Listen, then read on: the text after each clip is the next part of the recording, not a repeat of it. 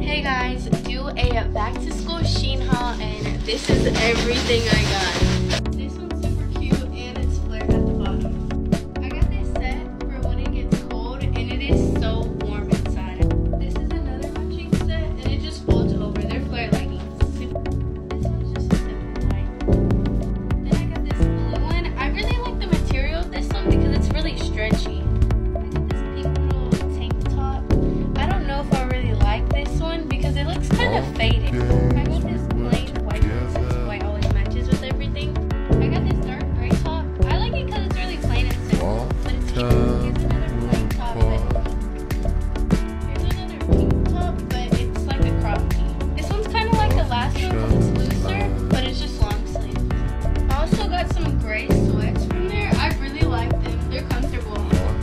Gonna try on the other pair that I got. I feel like they're both pretty cute,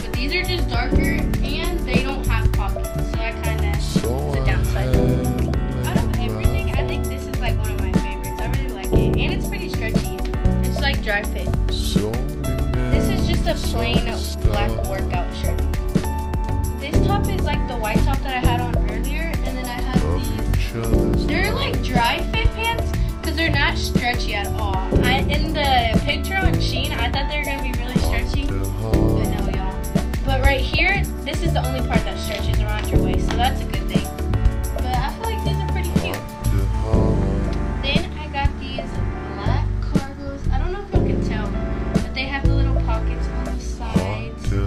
And these, I feel like they are pretty cute. I like them, but they just don't have pockets. I got this dress in a small, but I think I should have got it in extra. small. I got this pink dress. I really like the sleeves. I feel like it, it looks pretty. I like this one. This one's a pretty simple dress, but I really like how it's a little tiny slit right there, and it's like a little like I guess t-shirt. Don't seem so quick. This one looks kind of like a pink this one is definitely like a t-shirt dress. The other one nah. not. This is definitely like a t-shirt dress. And I also got this one in black.